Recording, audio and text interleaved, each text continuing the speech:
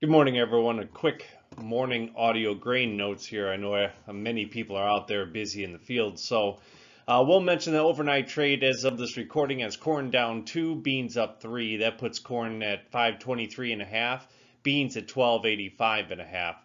Uh, we're expecting slightly poor exports for corn. Uh, we are expecting that exports will continue strong for beans.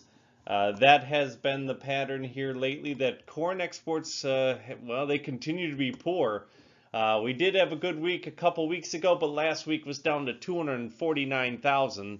Um, again, for any type of support from this weekly export sales, that needs to be a million tons or more. So 249,000, well short of what we need. Last week for beans was 1266. Uh, That's uh, plenty solid enough to expect a, a similar number this week and strong sales again. Over in wheat, we've seen 13 disappointing weeks in a row up until last week where we got 617,000. Any number 500, 600,000 would be good enough for light support there, mainly in the Chicago wheat. So uh, expecting poor corn sales, solid bean sales, and maybe we can get a second week in a row of strong wheat sales. Uh, yesterday shows again that we need to be paying attention to renewable fuel headlines, uh, they still cause uh, a dent in the market as they did yesterday. After a strong morning trade, we saw a pretty decent little pullback uh, when they announced renewable fuel mandates for the upcoming years. Uh, the numbers are only estimates so far. We don't have the official numbers, but the estimates are lower than 2020 for both this year and next year.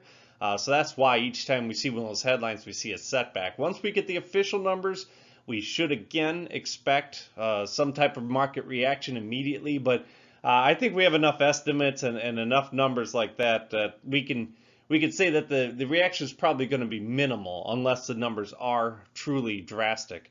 Uh, switching over to the cattle, uh, we did get a 124 cash trade. That's 50 cents higher. We, we, saw that yesterday, so that's 50 cents higher. It's really tough to tell if funds are still selling this market.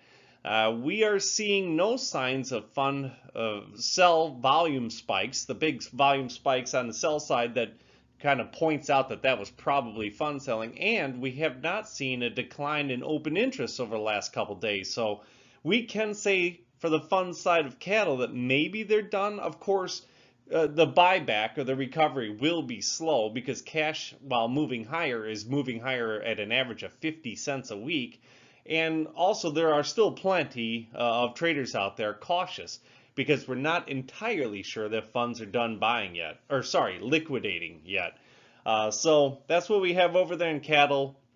Would expect at least a little bit more cattle on feed pre-buying ahead of tomorrow's report. The report itself is actually expected to be neutral. Uh, so we'll see what we get from the report, but we've seen tra uh, traders pre-buy this report even when it was expected to be negative. Uh, so we'll see what we get from that tomorrow, and we see we'll see how trade goes today. Hopefully, a little bit more support.